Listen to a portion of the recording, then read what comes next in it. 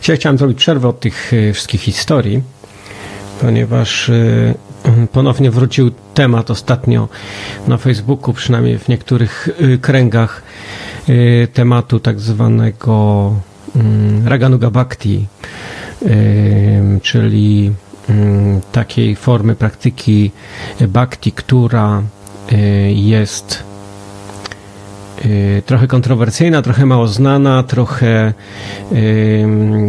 może powiem, krążą wokół niej jakieś duża ilość nieporozumień, e, niedomówień, jakichś błędnych wrażeń e, i również dużo mitów na ten temat.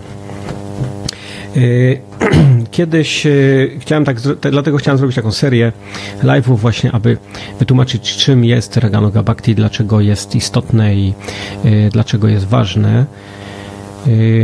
Jeżeli weźmiemy pod uwagę naukę oddania, tą, którą zostawił nam Rupa Goswami y, i przestudujemy jego główne pismo, które traktuje o nauce bhakti, nauce oddania, y, które nazywa się Bhakti Rasamrita Sindhu, którego skróconą wersję mamy po polsku jako Nektar Oddania, aczkolwiek y, ta wersja Nektar Oddania, która jest po polsku, która jest tłumaczona z angielskiego, jest pewnego rodzaju impresją tego, co Prabhupada chciał nam przekazać i czego nauczał. Niemniej jednak nie jest to tłumaczenie słowo w słowo, ani odniesienie się do, komentar- do wersetów, komentarzy czy treści, która jest zawarta y, w Bhakti Rasamrita Sindhu w sensie takim bardzo ścisłym. Jest to jedynie takie ogólne wrażenie tego, czym ta książka jest. Dlatego dobrze by było, y, aby zrozumieć, czym tak naprawdę jest praktyka oddania, y, wypadałoby wrócić do tego, y, zacząć od tego pisma i przedstudiowanie tego, co Rupa Goswami nam przekazuje. Nie wdając się za bardzo w szczegóły, chciałem tylko powiedzieć, że Rupa Goswami opisując czym jest bhakti, czym jest oddanie, jaka jest jego praktyka, w którymś momencie dochodzi do opisu właśnie Raganuga Bhakti. Znajdujemy tam, y, tych wersetów jest y, czterdzieści kilka pod koniec drugiego rozdziału y, i jednym z opisów, które tam znajdziemy jest wspomnienie, że są dwa rodzaje bhakti. Jedno, jedno bhakti nazywa się, jeden rodzaj bhakti nazywa się Vaidhi Bhakti, a drugi rodzaj bhakti nazywa się Raganuga Bhakti właśnie. Jeżeli weźmiemy, przeanalizujemy definicje, jakie są podane tych dwóch rodzajów bhakti, możemy powiedzieć w skrócie, że Vaidhi Bhakti jest tym, tym rodzajem bhakti, które jest motywowane instrukcjami pism e, świętych, e, czyli tym, co podają pisma. A Raganuga Bhakti jest tym bhakti, które jest motywowane pragnieniem czy chęcią czy jak niektórzy nawet tłumaczą, pożądaniem, taką intensywną, intensywną, intensywnym pragnieniem, intensywną chęcią, pożądaniem, czy tak po angielsku jest użyte słowo grit, które można przetłumaczyć jako chciwość, aczkolwiek to słowo ma wiele różnych znaczeń, także po, po polsku bardziej będzie to y, chyba mm, właściwsze gorące pragnienie, chęć, y, taka niezwykła, niezwykła. Mm, Y, niezwykła,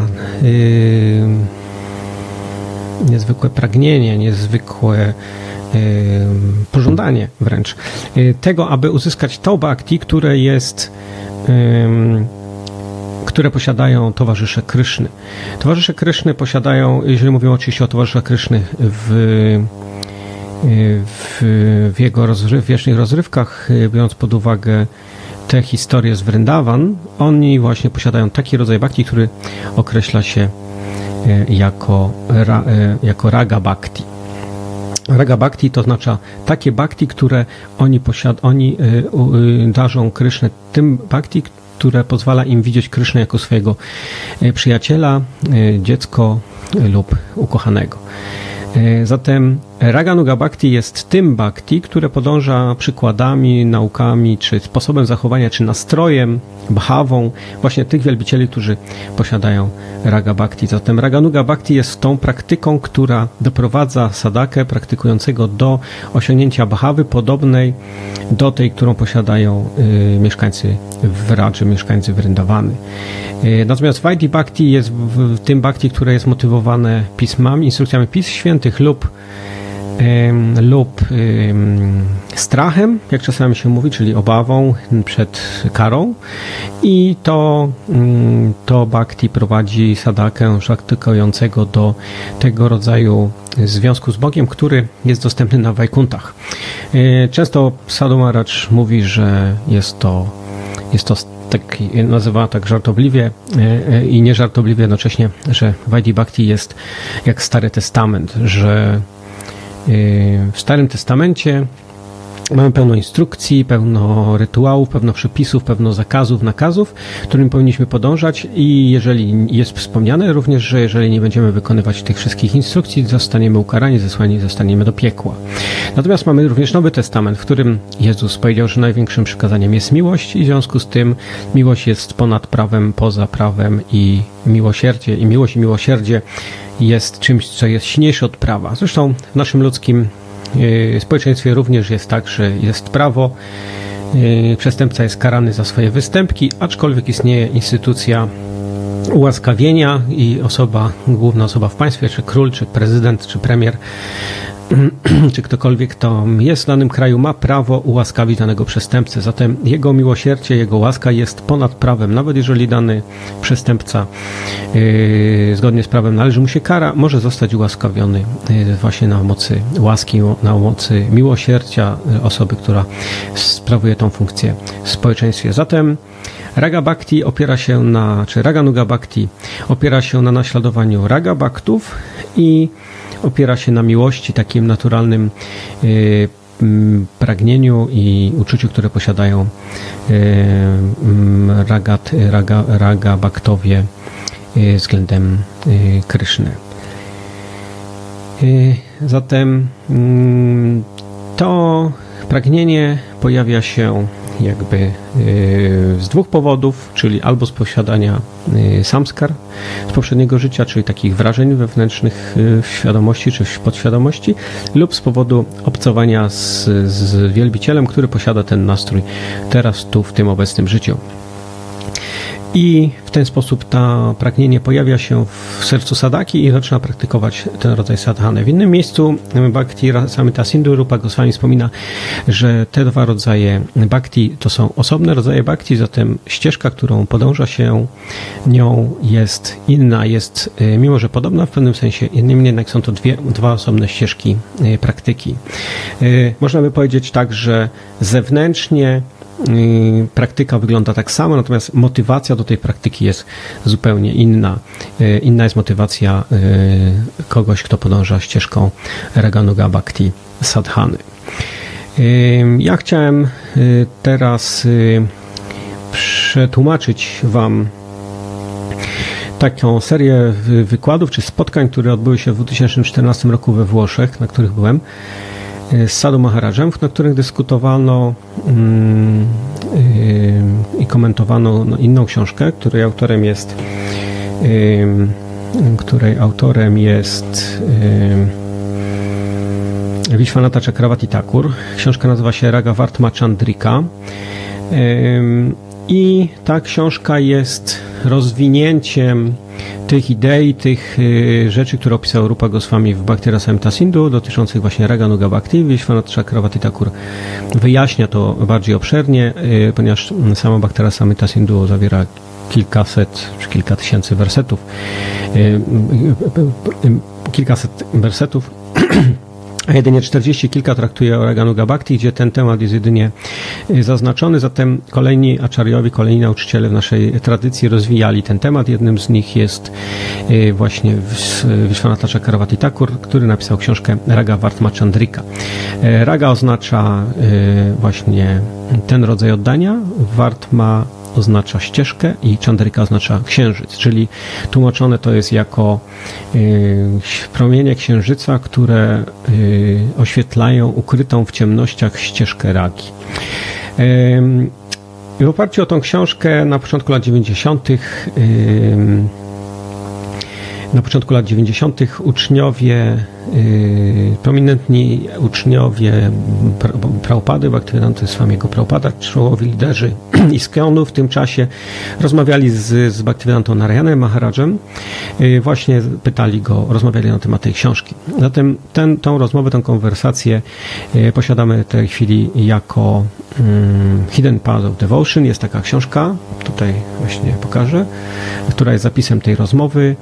Mm, I Sadhu Miraj w 2014 roku omawiał niektóre wybrane fragmenty tej, y, tej książki, y, komentując i rozmawiając z różnymi osobami, które tutaj brały udział, między innymi Tamal Krishna Maharaj, y, jeszcze tak patrzę szybko, kto tu jeszcze rozmawiał, bo nie pamiętam, głównie Tamal Krishna, ale Burijan, Danurdar Maharaj, Giriraj Maharaj, także prominentni baktowie Iskonu z tamtego, z tamtego czasu. Yy, także nie, przy, tym, po tym, przy krótkim, troszkę takim może przy długim, czy po tym wstępie chciałem przejść do, do tego wykładu. Tych wykładów jest w sumie yy, w sumie jest 8, każdy ma około pół godziny, także yy, ja pozwolę sobie dokonać takiej, y, takiego tłumaczenia i będę sukcesywnie, będziemy sukcesywnie podążać tą, y, tą, tym, tym, tym wykładom, tym, tym rozmowom. Także zapraszam do słuchania. Oddaję głos Sadu Maharadżowi i postaram się w miarę y, płynnie to przetłumaczyć. Last paragraph, uh, last sentence we had bez towarzystwa bez towarzystwa towarzystwa Bhaktów y, zrozumienie rozrywek i osobowości Krysznej Rady nie może być zrozumiane w właściwy sposób.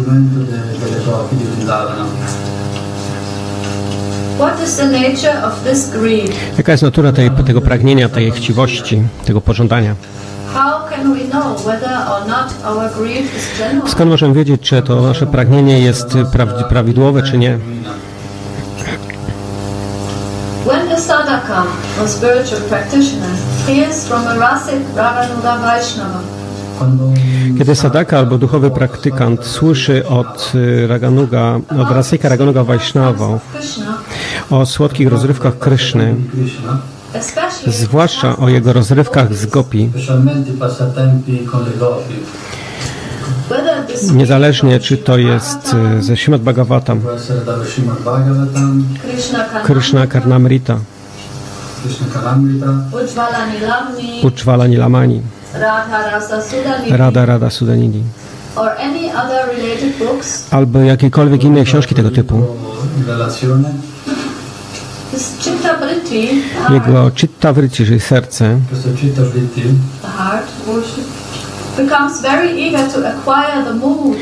staje się bardzo y, przepełnione pragnieniem, aby uzyskać ten nastrój właśnie tych konkretnych towarzyszy Kryszny. Czy wiecie, czym jest chitta vritti? Moje zmysły. Moje zmysły pracują niezależnie. Mój umysł działa niezależnie. A ciało, a ciało chce pracować także niezależnie.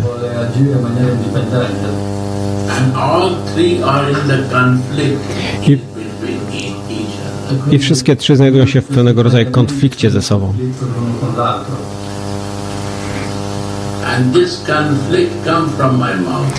I ten konflikt pochodzi z moich ust.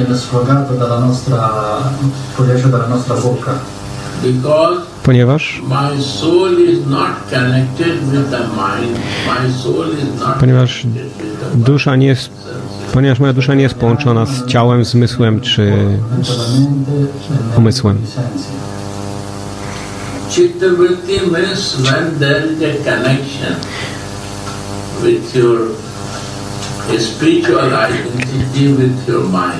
Chittavritti oznacza, kiedy świadomość czy dusza jest połączona ze zmysłami, kiedy to połączenie jest pozytywne modo positivo. And that. I w ten sposób pojawia, zaczynają pojawiać się różnego rodzaju emocje. sentimenti cominceranno a manifestarsi.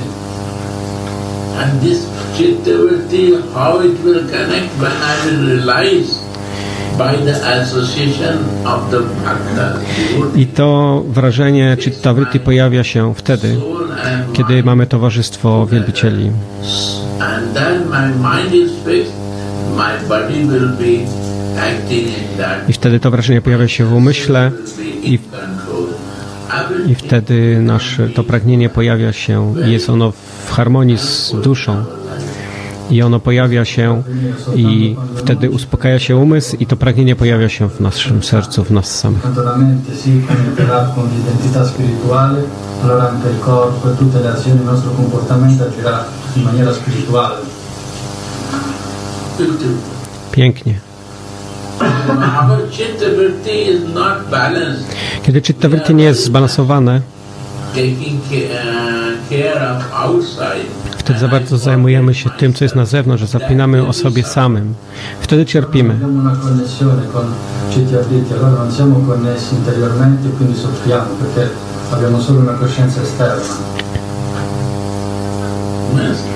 To oznacza, że jesteśmy tak uwarunkowani, że nie, nie możemy myśleć tym, o tym, co jest nieuwarunkowane.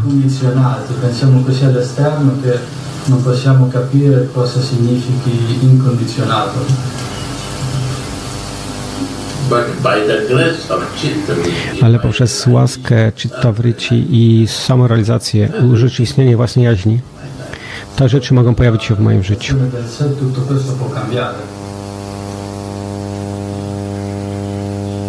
Czytaj dalej. I w tym czasie ktoś zostaje zaabsorbowany Kryszna, formą Kryszny on jest zaabsorbowany. On nie będzie lubiał nic innego.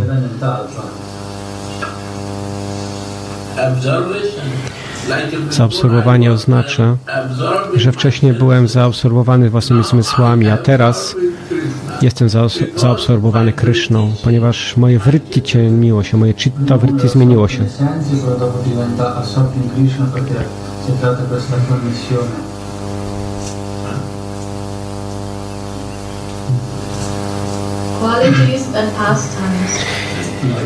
Jestem zaabsorbowany formą,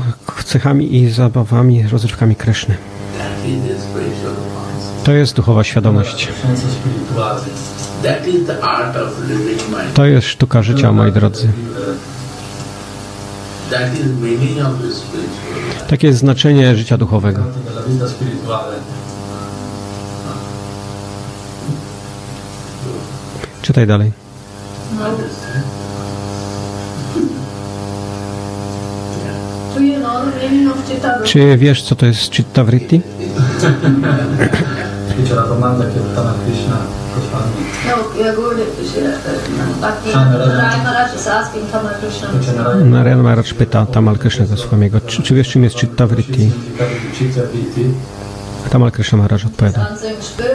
Y, Duchowe, wewnętrzne, jakie to jest słowo? Wewnętrzne, In this context, Chitta Vritti refers to the mind or the heart. Y, chcę poznać to słowo, mówi Narayan Maharaj, a Tamal Krishna Maharaj, mój świadomość, wewnętrzna świadomość. W tym kontekście chitta vritti oznacza, do umy, oznacza umysł albo serce. Kiedy nasze chitta vritti jest, jest pe- wypełnione pragnieniami, aby być tak jak, takim jak towarzysze Kryszny, aby posiadać ten sam nastrój, jaki posiadają towarzysze Kryszny. Chcę być taki jak Matka Jasioda.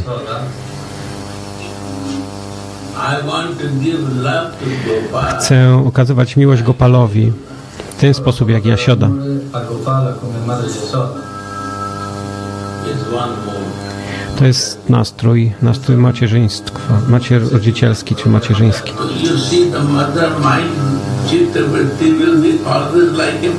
Jeżeli ktoś będzie w Chittavricie, będzie ten nastrój macierzyński, ten nastrój będzie zawsze taki.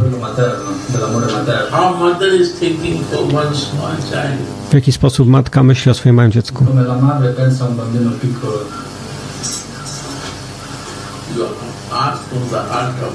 Zapytaj serca matki, w jaki sposób wrytti, w jaki sposób umysł, ponieważ serce i dusza jest razem, pracuje razem.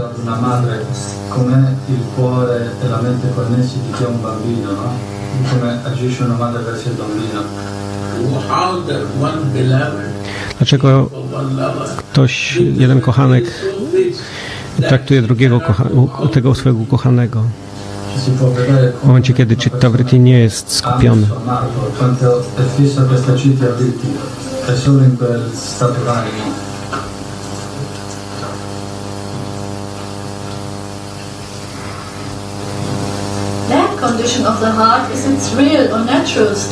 Ten stan serca czy umysłu jest naturalnym stanem. To jest naturalny stan duszy i serca.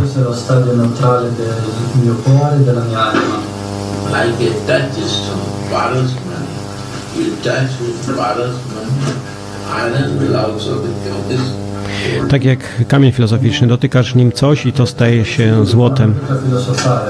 Chaitanya.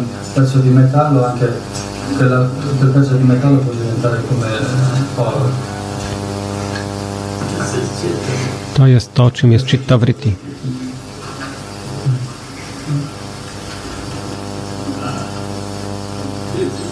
Piękny. Czytaj dalej. Jako przeciwieństwo y, absorpcji materialnymi cechami, które są w Chitta Vritti. Tanto materiale. Huh? What? Read again. Czytaj jeszcze raz. Jako przeciwno, przeciwieństwo tego, że Chitta Vritti jest zaabsorbowane materialnymi światami. Kiedy Chitta Vritti nie jest właściwe, jest, kiedy jest zwrócone odwrotnie Jest przeciwne. duchowym rzeczom,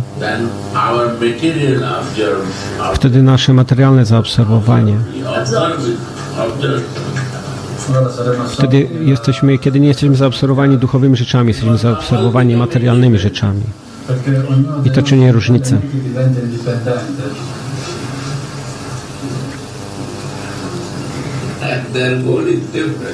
I wtedy cel takiej osoby jest inny.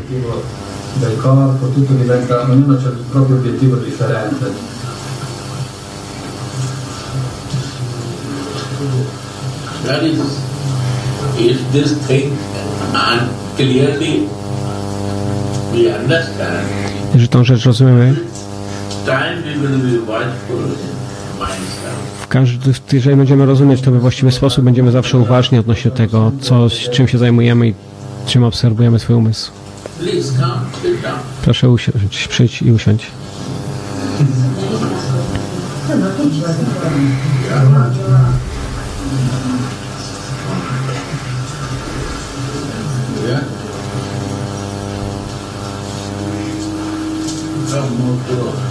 Usiądź bliżej.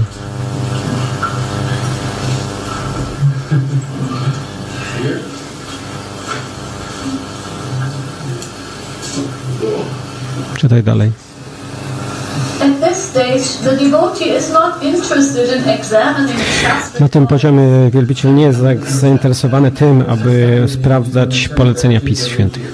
Il devoto non è interessato a studiare gli shastra rituali. Ona, jedna dziewczyna, kiedy jest zakochana w chłopcu,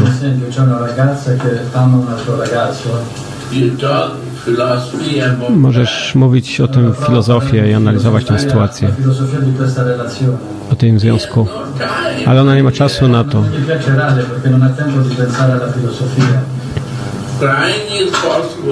Może płakać, może tęsknić, może spotykać się, ale nie ma czasu na dyskusję, analizowanie tej relacji.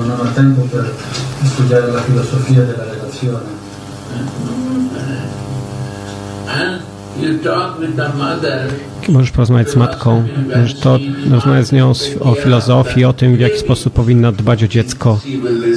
Czy ona będzie cię słuchać jakiejś filozofii od ciebie?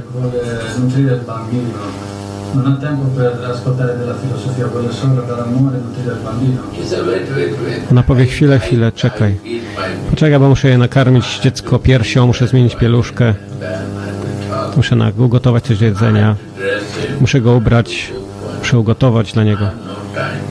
Nie mam czasu na rozmawianie filozofii, ponieważ mam rzecz do zrobienia, ponieważ mam zajęcie do zrobienia, ponieważ mam służbę do wykonania, żyję w miłosnym zaangażowaniu. Nie potrzebuję z, z tym logiki. Jaka logika za tym będzie podążać? Ta logika przyprowadziła cię tutaj, aby kochać. Skąd możesz to wiedzieć? Jak skąd możesz znać macierzyńską miłość? Kiedy dostaniesz to jako łaskę i wtedy pojawia się raga bhakti. Poter amare con la logica non c'è tempo. È sempre in servizio, sempre l'amore nel servizio, questa è la bhakti.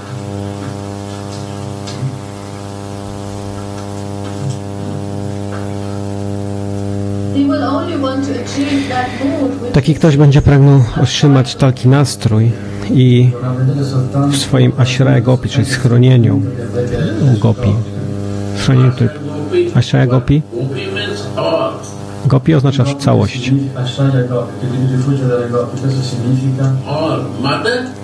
Gopi oznacza wszystkich. Matka również jest gopi. Radhika również jest gopi. Wszystkie kobiety, wszystkie są gopi. Jakie jest znaczenie tej żeńskiej natury? A jakie jest znaczenie męskiej natury? Kiedy znajdujesz się w cielesnej, cielesnej świadomości,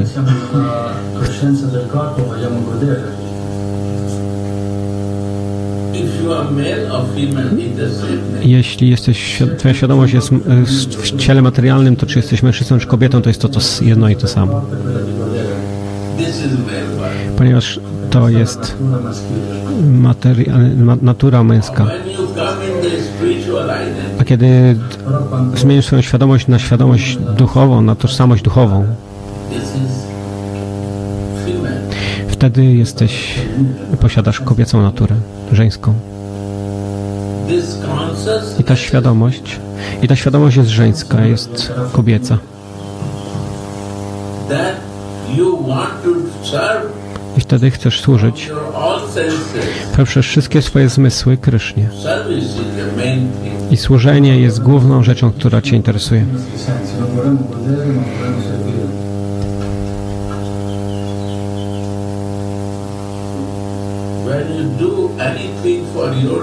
Jeśli robisz cokolwiek dla siebie, wtedy to nazywa się kama.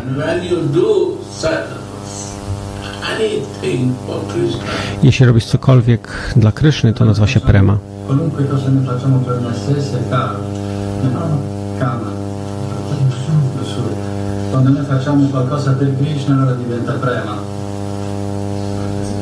Czy rozumiecie to? Zatem duchowa tożsamość jest po to, żeby myśleć i praktykować w życiu. I to jest nastrój gopi. To się nazywa gopi bhava i to jest nastrój. Ten nastrój, który próbujemy rozwinąć w sobie.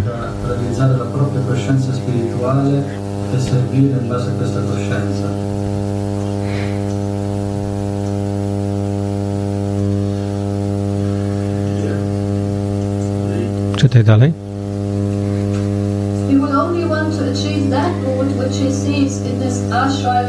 On będzie starał się uzyskać ten nastrój, który posiada jego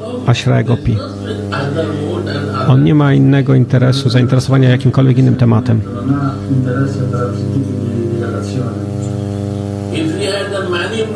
Jeśli ma wiele nastrojów,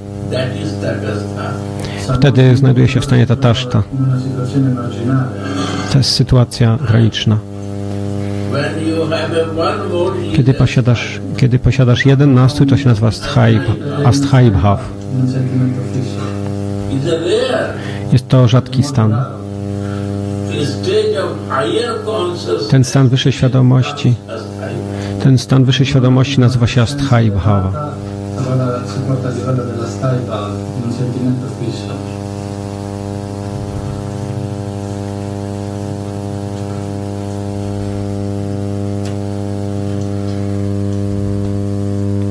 Yeah. Tak? And if you see us high power, Jeśli widzisz tą Sthahi Bhava w innych, jeśli widzisz ten nastrój u kogoś, powinieneś przyjąć kurs lotowych stóp takiego wielbiciela, ponieważ on ma ten nastrój. Jeśli nie przyjmiesz tego nastroju od kogoś, kto posiada taki stan umysłu, ten nastrój nigdy nie pojawi się w tobie.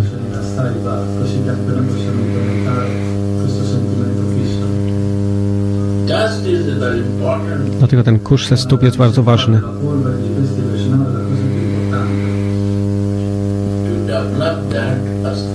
Aby rozwinąć tą Asthai Bhava, potrzebujesz towarzystwa kogoś, kto już posiada ten nastrój.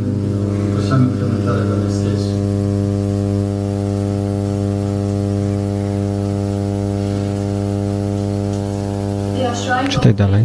Ashray Gopi jest ta gopi, której nastrój ktoś stara się osiągnąć i ma pragnienie, aby osiągnąć ten nastrój.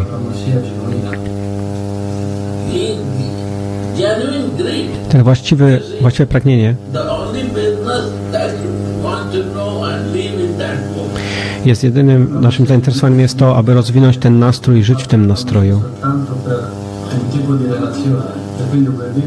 żeby posiadać takie intensywne pragnienie, aby osiągnąć nastrój tej gopi, którą chcemy podążać śladami, której śladami chcemy podążać. Czy rozumiesz to? Czy możesz wyjaśnić znaczenie, czym jest lobha albo czysta, czyste pragnienie, czysta chciwość, czyste pożądanie? Czy rozumiesz to? Narayana Maharaj pyta. Rozumiesz?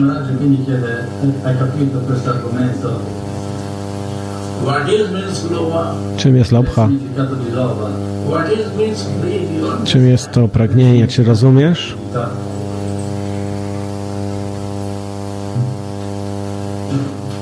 If you just you understand this, everything is sight. Jeśli rozumiesz to, czym to jest, wtedy wszystko, wszystko zostało powiedziane, nic więcej nie musi być powiedziane. Jeśli pasz, posiadasz lobha, posiadasz to pragnienie, aby uzyskać ten, ten nastrój, ten tak wspaniały to jest. jesteś skupiony tylko na jednym celu, a nie na wielu. Jesteśmy zaniepokojeni, ponieważ interesuje nas wiele rzeczy. Wiele rzeczy wchodzi do naszego komputera. Abbiamo Umysłu. dei disturbi interiori perché abbiamo molti obiettivi che vogliamo raggiungere.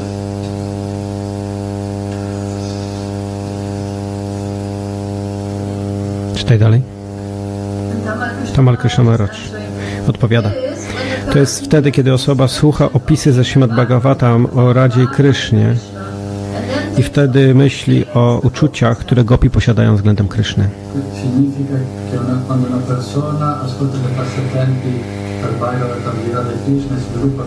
Sentimento.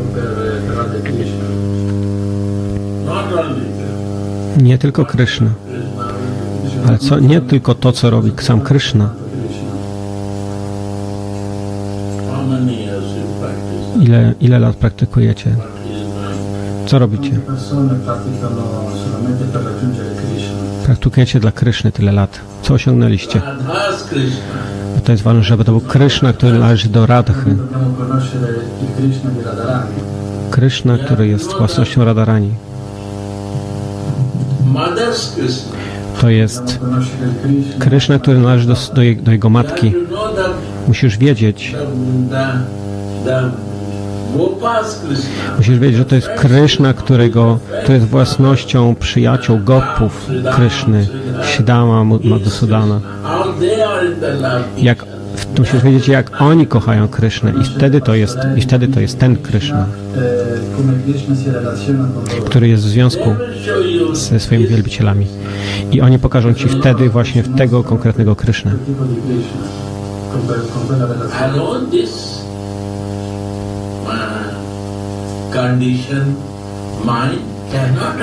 Ponieważ ten nasz uwarunkowany umysł nie może tego zrozumieć sam.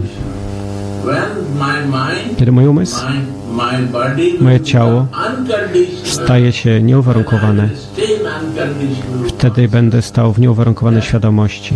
I wtedy, i wtedy będzie mi łatwo posiadać związek z Nim.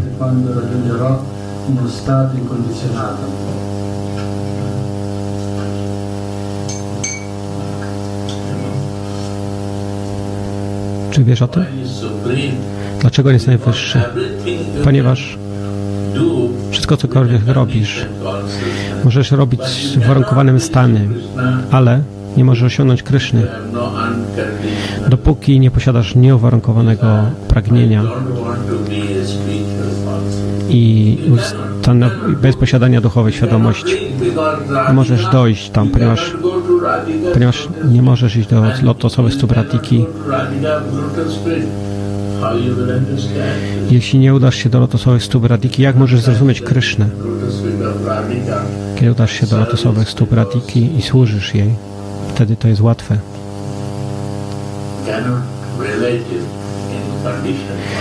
Nie możesz posiadać związku z Kryszną, będąc w uwarunkowanym stanie świadomości.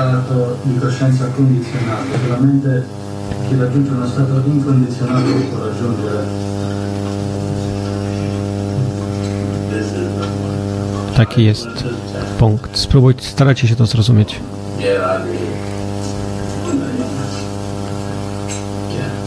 Czy Radek ktoś przyszedł znowu?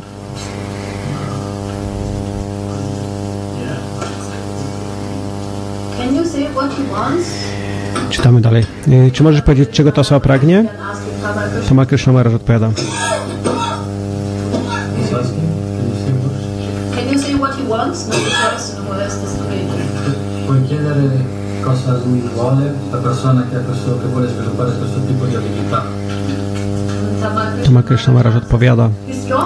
On pragnie silnie posiadać te same uczucia, które są w tych wielbicielach, o których czyta w Śmad Bhagavatam i w tych innych pismach.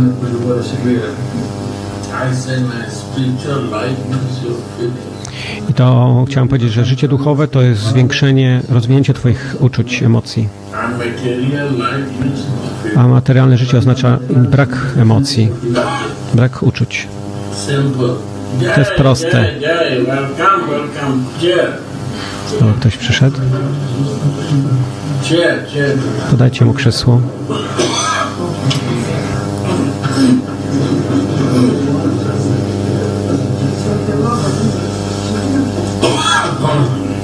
Can I? Dajcie, przygotujcie mu miejsce, żeby usiadł tutaj bliżej.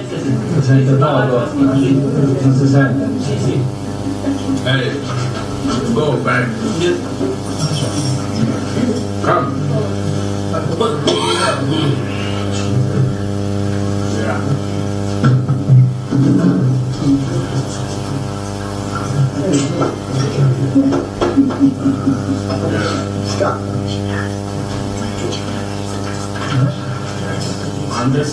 Czy rozumiecie to?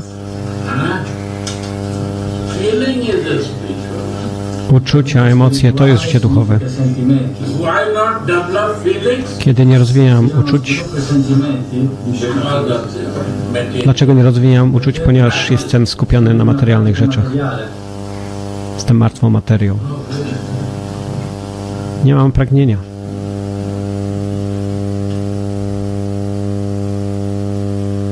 Very simple way to understand. To jest bardzo proste, żeby zrozumieć. Czym jest różnica między tym, co jest materialne i tym, co jest duchowe?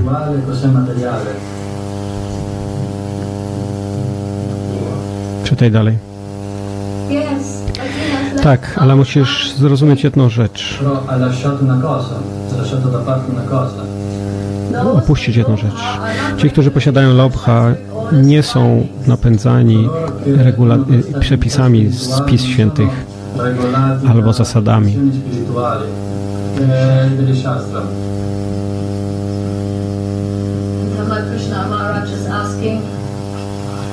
and Tama. Krishna Maharaj pyta, czy tam nie ma zasad, reguł i przepisów? Persona Srila Gurudev Narayana Maharaj odpowiada, Zasady i przepisy nie są potrzebne w ogóle w tym przypadku.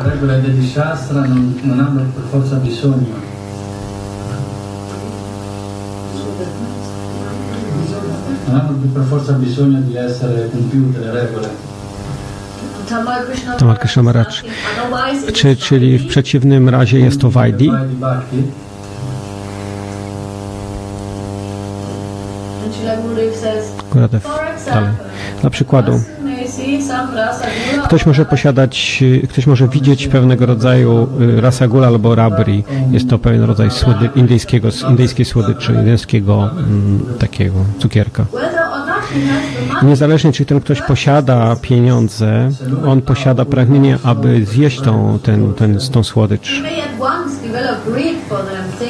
I widząc je, może rozwinąć pragnienie, taką chciwość, mocne, mocno, mocne pragnienie, aby zjeść je i posiadać je. W podobny sposób, na jakimkolwiek poziomie, ktoś może odkryć siebie, odkryć sobie to, że szczerze może dojść do wniosku, o, że ten nastrój gopi jest bardzo smakowity i bardzo dobry. Ja w jakiś taki czy inny sposób muszę uzyskać ten nastrój. Taki, takie, takie chciwość, takie pragnienie nie ma oparcia na pismach albo ograniczeniach zawartych w pismach świętych.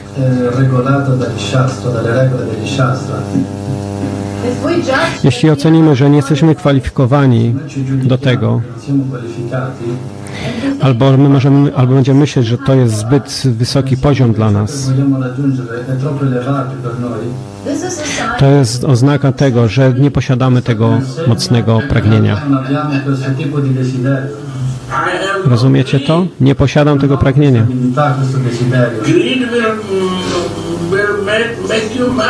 To pożądanie, pożądanie sprawi, że stajesz się szaleńcem.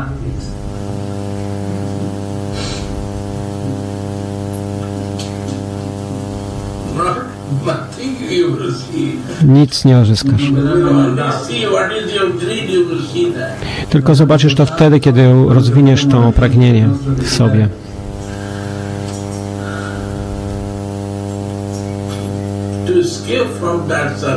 Aby uciec z tego tematu, możesz powiedzieć, możesz powiedzieć, nie, to jest bardzo zaawansowany temat. Nie jestem kwalifikowany, aby tam wejść w to. W ten sposób unikasz tego tematu.